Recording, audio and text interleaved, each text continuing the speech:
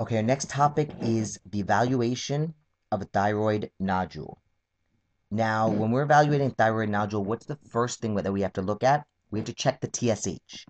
And if the TSH is decreased, we know we have a toxic nodule. And basically, toxic nodules are actively secreting thyroid hormone. And when we have a toxic nodule, the chance of cancer is going to be zero. And what we're going to do to see if the nodule is the source is a nuclear scan. And on the nuclear scan, if it's a hot nodule and there's focal uptake, it's going to be a thyroid adenoma and we're going to do surgical excision. If we do the nuclear scan and there's diffuse uptake, it's going to be Graves' disease. That's going to be the cause, and we're going to actually treat the symptoms of Graves' disease. What do we do first? Our first step is going to be PTU acutely and propranolol for symptomatic treatment. And remember, pregnant patients in the first trimester get low dose PTU, and in the second trimester, they get surgery. Next, we're going to give radioactive iodine for permanent resolution. We have to remember acutely we cannot give radioactive iodine because it's going to release more thyroid hormone into the circulation. If a patient refuses radioactive iodine, or if the large goiter, or if it's a large goiter that's causing tracheal compression, we're going to do surgery. Okay, so what are indications of surgery?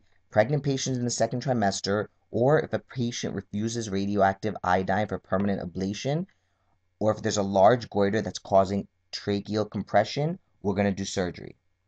Pregnant patients the first, tri first trimester, what do they get? Low dose PTU. After we give the radioactive iodine, you remember, you want to follow these patients every six months. And remember, when we're treating hyper or hypothyroidism, the best thing to look at to see if meds are actually working is the free T4 because TSH actually has a two week lag time. Okay?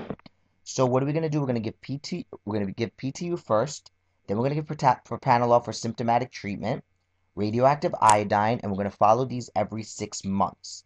And when they become hypothyroid, we're going to actually give them T4. Now, on the toxic nodule, we did the nuclear scan. If we see a cold nodule, a non-functioning nodule, this is when, when we're going to do a fine needle aspiration. Okay? Now, we have a thyroid nodule, we check the TSH. If the TSH is decreased, we follow this algorithm we just spoke about right now. And if, the, if there was no change in the TSH, our first step is to differentiate a non-toxic nodule from cancer. Because remember, if there's no symptoms and there's no change in the TSH, it could possibly be cancer. So the way we're going to differentiate a non-toxic nodule from cancer is actually by doing a fine needle aspiration. Based on the FNA, if it's benign, we're going to follow these patients and observe them, but we're not going to intervene.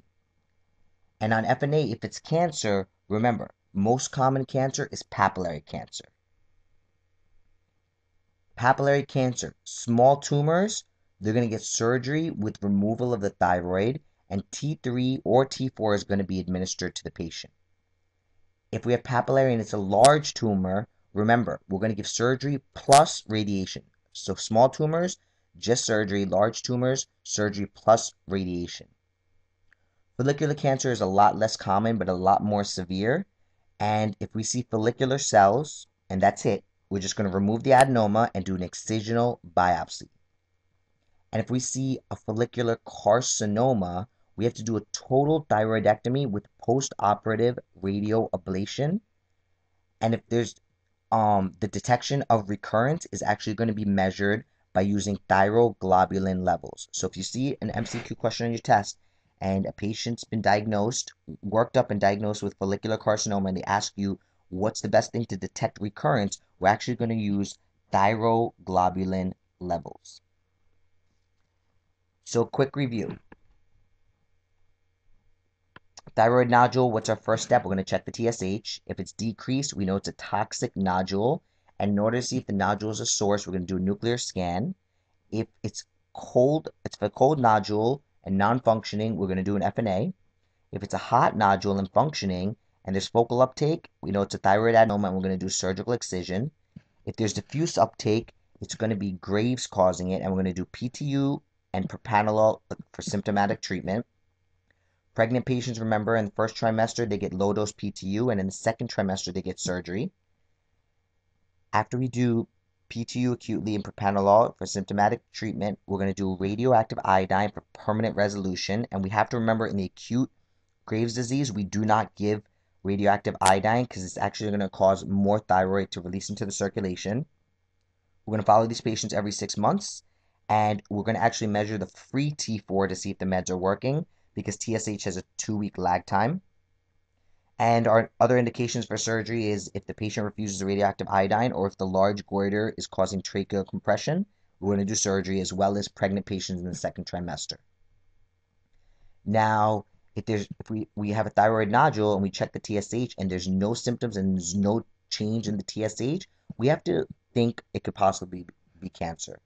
And we're going to differentiate a non-toxic nodule from cancer by doing an FNA. And on the FNA, if it's benign, we're going to follow and observe, but we're not going to intervene. And if it's cancer, our most common is papillary. And small papillary tumors are just going to get surgery. And T3 or T4 is going to be re uh, replenished for this patient. And the large tumors are going to get radiation along with surgery. And on FNA, if it's cancer, and we see follicular, if it's follicular cells alone, we're going to just remove the adenoma and do an excisional biopsy. And if we see a follicular carcinoma, we have to do a total thyroidectomy with post-operative radioactive radioiodine ablation. And the best thing to detect recurrence is by measuring thyroglobulin levels.